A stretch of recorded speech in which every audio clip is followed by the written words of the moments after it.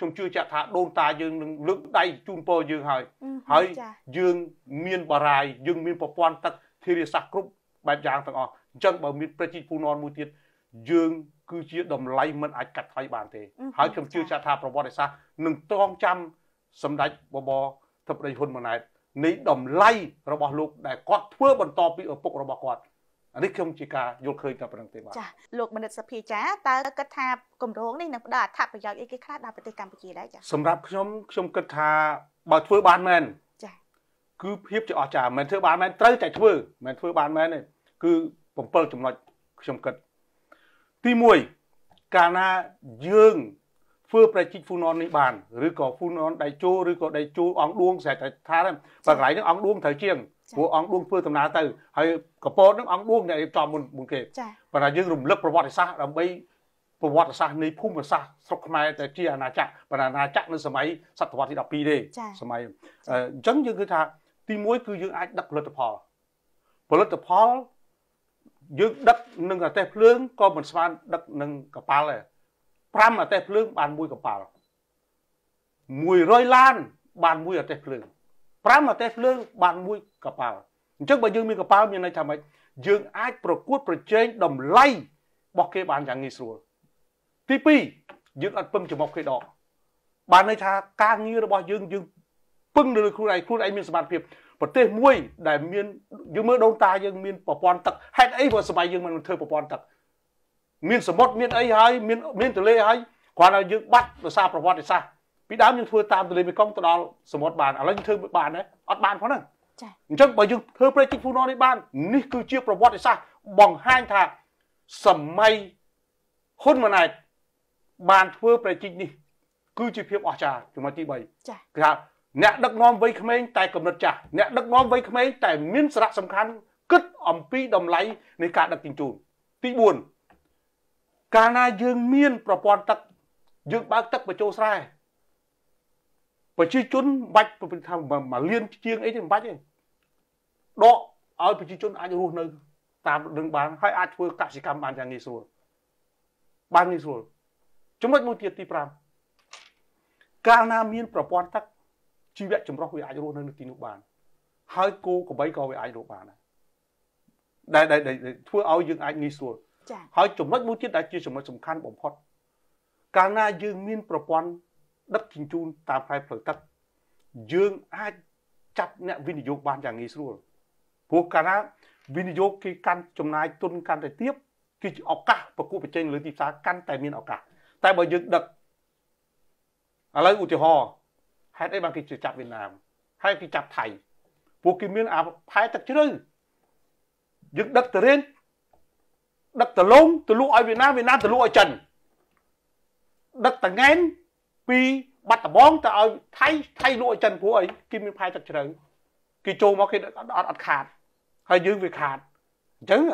អញ្ចឹងកន្លែងហ្នឹងដែលយើងមានអាហ្នឹងគឺល្អហើយមួយទៀតយើងឈានទៅធ្វើឲ្យទឹកជ្រៅនៅអញ្ចឹងហើយអ្នកហ្នឹងចេះតែកង្វល់ហ៎អញ្ចឹងបើថ្ងៃមុនកង្វល់ខ្ញុំបានទៅដល់ផែរៀមវៀតណាមថៃ មានទាំងកងទ័ពប្រកួតប្រជែងអត់ព្រមអត់បារម្ភទេខ្មែរធ្វើផែរៀមថាខ្មែរនោះយកចិនមកអានោះមិនត្រូវប្រទេសមួយត្រូវតែមានសារៈសំខាន់មានផែទឹកជ្រៅសម្រាប់ទ្រទ្រង់សេដ្ឋកិច្ចរបស់ខ្លួនចា៎បាទចំណុចមួយទៀតជាចំណុចសំខាន់បំផុតស្រីរាងកាយរបស់មនុស្ស80%គឺជាទឹកចុះបើប្រទេសមួយដែលពោពេញទៅដោយសរសៃឈាមទឹកហើយបើយើងមិនព្រមបង្កើតវាតើ ចាំពេលណាយើងបង្កើតឲ្យទៀតអញ្ចឹងជាឱកាសហើយនឹងសម្ដេចបបធិបតីហ៊ុនម៉ាណែតហ្នឹងត្រូវតែធ្វើនេះគឺជាតម្លៃរបស់លោកបើលោកមិនធ្វើអាពុកគិតមកអត់មានតម្លៃទេកូនហែកចោលចាអាហ្នឹងអាហ្នឹងកុំឲ្យកុំឲ្យមានអញ្ចឹងណាកុំឲ្យចឹងព្រោះគាត់បានផ្ដើមគំនិតហើយអញ្ចឹងបន្តវេនពីឪពុកគឺនេះគឺស្នាដៃប្រជាដែលចូលហ្វូណនហ្នឹងឬក៏យ៉ាងម៉េចខ្ញុំមិនដឹងទេប៉ុន្តែ បានដាក់ហ្វូណនហើយវាបង្ហាញអំពីអតីតកាលនេះប្រវត្តិសាស្ត្រពីយូរលង់ណាស់មកហើយប៉ុន្តែបើសិនជាយើងដាក់ដេជោដេអង្គឌួងនៅក្នុងសតវត្សទី18ទេនៅឆ្នាំ1859ការឆ្លើយតបរបស់ខ្ញុំខ្ញុំសួរទៅវៀតណាមវិញខ្ញុំសួរទៅចិនវិញខ្ញុំសួរទៅថៃវិញខ្ញុំសួរទៅភូមាវិញខ្ញុំសួរទៅឡាវវិញពេលណែឯងធ្វើវារីគីសនីណែឯងមានកង្វល់ទេចាណែឯងជីកទៅមើលវៀតណាមវៀតណាមដឹកស្រូវនឹងអី ដឹកស្រូវនឹងទូកដឹកផលិតផលនឹងទូកចាតើវៀតណាមមានដែរប្រាប់យើងទេពេលដែលជីកប្រែកជីកអីដែរប្រាប់ទេដែរប្រាប់ទេចាអត់ប្រាប់ផងចាប្រែកមួយទៀតរបស់ខ្មែរដឹងប្រែកអីមានដឹងទេបានក្បាលតែអងប្រែកអូចាចាំអាខ្ញុំក៏មិនរំលឹកទេចាវៀតណាមត្រូវចាំវិញទេប្រេច វិញទេខ្ញុំចង់អានឹងក៏ប្រាប់កុំកង្វល់អាណិតខ្មែរខ្មែរធ្វើនេះมันប៉ះពាល់ដល់ឯងទេហើយក៏អត់ប៉ះពាល់បរិស្ថានដែរចានៅលើទឹកដីខ្មែរហើយមិនមែននៅលើទន្លេមេគង្គទេដៃទន្លេមេគង្គអញ្ចឹងខ្មែរគ្រាន់តែផ្ដល់ជូនជាដំណឹងខ្មែរធ្វើបានខ្មែរអត់បានយកទន្លេមេគង្គមកធ្វើវីរីគិសនីទេខ្មែរមិនបានយកទន្លេមេគង្គមកបែងចែកទឹកទេខ្មែរគ្រាន់តែជីកព្រែកមួយនៅក្នុងដៃទន្លេបាសាក់ ដែលខ្មែរមានព្រែកតែប៉ុតខ្មែរមានព្រែកហើយតែដោយសារមាននីវ៉ូទឹកវាប្រែប្រួលទេអញ្ចឹងអត់មានអីប៉ះពាល់ទេគេកង្វល់កតាគេ5ទី1គេធ្លាប់យកចំណេញពីយើងដឹកមកមកដល់ដឹកស្ទូឌីគេគេយកលុយបាត់ហើយទី2ដឹកចេញបងឲ្យគេបងឲ្យគេទី3គេអាចត្រួតត្រាកម្លាំងរបស់យើងបានយើងធ្វើអីគេដឹងភ្លាមព្រោះពេលស្ទូមកគេឃើញ អញ្ចឹងគេអាចទិញរបស់នឹងមកគេអាចត្រួតត្រាតម្លៃបានយ៉ាងស្រួលយើងអត់អត់នេះបានហើយទៅគួតតម្លៃគេបានទេអត់បានទេពីព្រោះយើងពឹងចំបោះគេដកចំណុចមួយទៀតដែលគេកង្វល់កង្វល់ព្រោះខ្មែរស្អីក៏មានដែរបើខ្មែរធ្វើបានវិស័យកសិកម្មរុងរឿងយើងគិតមើលស្រូវគេហៅផ្កាម្លិះចាបាទក៏អូបនៅស្រុកស្រុកខ្មែរទេចឹងខ្មែរអាចដឹកបាន បើដឹកនឹងឡាន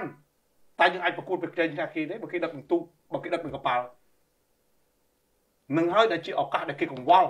គ្មានកង្វល់រឿងអីខូចបរិស្ថានទេធ្វើវារីគិសរីមិនខូចបរិស្ថានជីកប្រេកឡើងដូចមរៀមដៃនៅវៀតណាមខ្ញុំទៅដល់តាខ្ញុំដើរបើបើនិយាយចឹងហើយលើទៅទៅទៀតហើយព្រោះខ្ញុំដើរអស់ហើយខេត្តត្រាវិញខ្ញុំដើរទីអស់ហើយដូចសរសៃឈាមគេគេគេប្រើទាំងអស់អញ្ចឹងខ្មែរ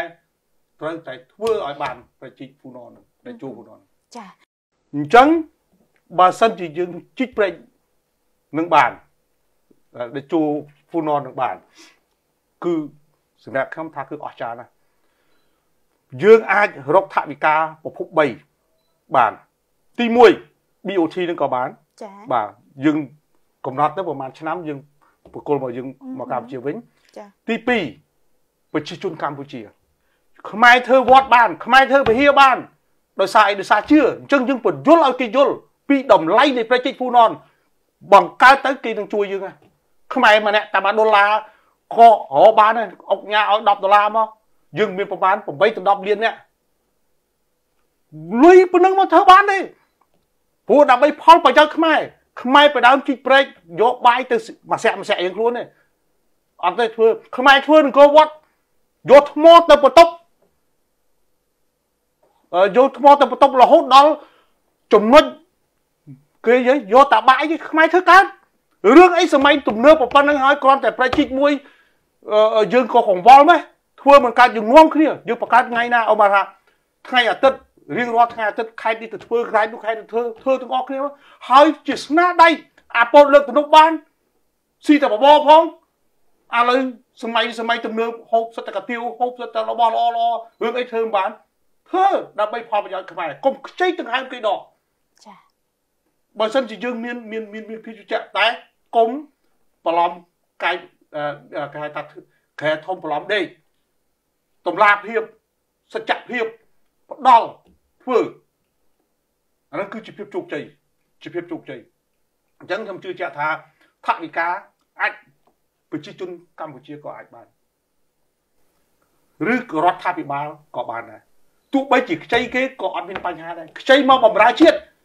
ខ្ចីដើម្បីផលកសិកម្មខ្ចីដើម្បីផលដឹកជញ្ជូនខ្ចីដើម្បីផលតម្រូវការរបស់ប្រជាជនខ្ចីដើម្បីអីដើម្បីជីវៈចម្រុះលក់ទៅតកួនវិញក៏បានដែរដាំមកតកួនតាមនឹងក៏បានដែរបង្ហូរទឹកចូលទៅក៏បានដែរចំត្រីក៏បានដែររឿងអីអត់អត់មានទឹកគឺមានអ្វីអ្វីទាំងអស់ចាមានសេចក្តីសង្ឃឹមទាំងអស់ហើយបើសិនណាបើយើង យកអាតិចតួចនឹងយកមកមកកាច់កង់វាអត់ត្រូវទេ ខ្មែរមានសរសៃឈាមហើយពេលហ្នឹងយើងអត់ខ្ចីចំមុខគេដកទេយើងមិនមែនមកដឹកឲ្យមកបញ្ចូលឲ្យមកស្ទូចដាក់ទេដឹកចូលមកដល់ភ្លាមហើយអាចរៀបចំបានយ៉ាងស្រួលហើយអ្នកវិនិយោគគេដូចខ្ញុំអាចចំណុចទី7អ្នកវិនិយោគគេនឹងចូលមកវិនិយោគនៅពេលណាតម្លៃដើមកាន់តែតិចបាទចាបាទបើវិយលឲ្យមកមើលស្រុកខ្មែរហើយអ្នកនៅប្រឆាំងនោះមកមើលស្រុកខ្មែរ តើខ្មែរធ្វើអីដែលអត់មានប្រព័ន្ធទឹកចាខ្មែរខ្មែរខ្មែរមហាអំណាចកុំមើលអាខ្មែរសម័យក្រោយចាដែលបែកបាក់គ្នាហ្នឹងចាដែលរត់ទៅពឹងនេះទៅពឹងនោះទៅពឹងនេះពុះហែកចែកគ្នាហ្នឹងយើងមើលសម័យដែលខ្មែរមហាអំណាចតើខ្មែរធ្វើអីដែលអត់មានប្រព័ន្ធទឹកឥឡូវខ្មែរឈានដល់មហារុងរឿងដែលឆ្នាំ2000 2050នេះនៅថ្លៃមានចម្រូងកម្រិតខ្ពស់បើអត់មានប្រព័ន្ធទឹកគ្មានបានជោគជ័យទេគ្មានបានជោគជ័យអ្នកណាមកវិនិយោគ ដឹកនឹងអានេះឡានដឹកនឹងអាទេសភ្លើងតទៅទៀតហើយទៅពឹងចំមុខគេដកដង្ហើមទៀតអត់ទេដូច្នេះដាច់ខាតថាថាចោះយើងត្រូវតែធ្វើពេលយើងធ្វើយើងបង្ហាញខ្ញុំជឿជាក់ថាប្រជាជននឹងគ្រប់គ្រងចាប្រជាជនកម្ពុជានឹងគ្រប់គ្រងហើយតម្លៃมันអាចកាត់ថ្លៃបានអ្នកឯងទៅមើលប្រាសាទខ្មែរទៅគេថាមិនមែនខ្មែរគិតនេះខ្មែរគិតតាំងពីសម័យមុនទីណាឥឡូវគ្រាន់តែនៅក្នុងប្រទេសឡាវមួយពេលខ្ញុំទៅមើល ខេត្តមួយដែលសម័យស្ដេចយើងខ្មែរកាត់ឲ្យគេធ្វើប្រព័ន្ធទឹកទ្រាសាស្ត្រនៅហ្នឹងចឹងគ្មានប្រាសាទខ្មែរណាមួយអត់មានអត់មានប្រព័ន្ធទឹកទេអញ្ចឹងខ្មែរធ្វើប្រជាហ្វូណនដែលចូលនេះគឺតម្លៃមិនអាចកាត់ថ្លៃបានហើយគ្មានគណៈបកឆាំងណាហ៊ាននិយាយទេបើនិយាយខ្ញុំហ៊ានតតាំង